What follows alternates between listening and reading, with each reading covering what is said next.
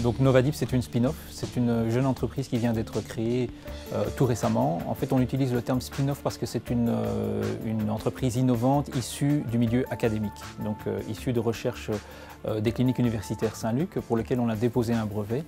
Et à ce stade, en fait, on a un produit très prometteur qui pourrait être utilisé dans le cadre de la reconstruction osseuse. Et nous devons créer cette société pour démontrer l'efficacité et l'innocuité du produit au travers d'essais cliniques phase 1, phase 2 et phase 3 avant de commercialiser ce produit. Créos est un produit de thérapie cellulaire innovante qui est obtenu au départ de la graisse du propre patient. On isole cette graisse sous anesthésie locale en salle de consultation. On va en isoler les cellules souches adipeuses que l'on va orienter vers la différenciation osseuse. Alors pourquoi faire? Mais Pour le transplanter chez le propre patient quand il y a un trou ou un défect osseux qui ne s'est pas consolidé spontanément. Donc en fait, Créost, c'est vraiment une technique qui permet de retourner chez le patient ses propres cellules qui ont été différenciées en cellules osseuses. L'utilisation des cellules souches, ça ouvre donc un versant énorme, un nouveau monde dans les, dans les techniques de traitement des patients. Pourquoi? Mais Parce que tout simplement, les patients sont protégés d'un rejet potentiel grâce au fait que ce sont des cellules souches qui ont été prélevées chez eux. C'est ça le grand, la grande originalité du projet qui est en cours aux cliniques Saint-Luc.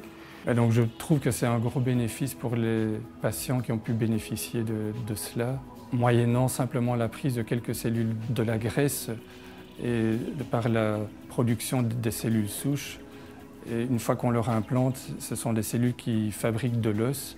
Et donc ça leur évite euh, des opérations par la suite où ça permet de, guérir des fractures qui jusque-là n'avaient jamais pu euh, guérir, où ça permet aussi que les allogreffes euh, consolident beaucoup mieux.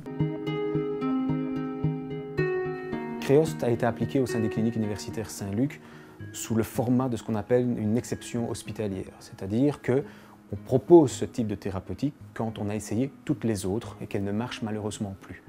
Dans ce cadre-ci, on l'a appliqué pour 8 patients, 8 jeunes enfants qui n'avaient pas de consolidation spontanée, dans le cas d'une pseudarthrose congénitale ou dans le cas d'une exérèse de tumeur.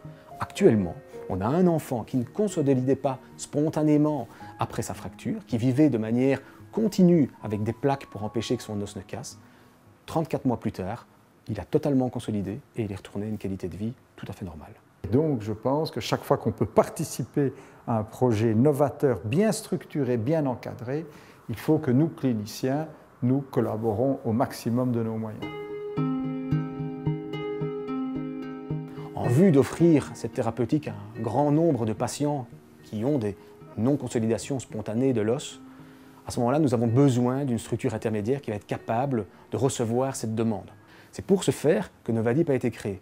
Créost a pu être produit au sein des cliniques universitaires Saint-Luc grâce à la structure du centre de thérapie tissulaire et cellulaire des cliniques Saint-Luc, par son infrastructure de salle blanche qui permet de pouvoir avoir un environnement de sécurité maximal pour produire ce type de médicament, car Créost est un produit de thérapie cellulaire innovante qui est assimilé à un médicament, tout comme il est produit par des firmes pharmaceutiques. Et surtout, on a pu obtenir les accréditations par le système qualité mis en place pour pouvoir produire et avoir cette reconnaissance par l'Agence fédérale des médicaments et produits de la santé belge.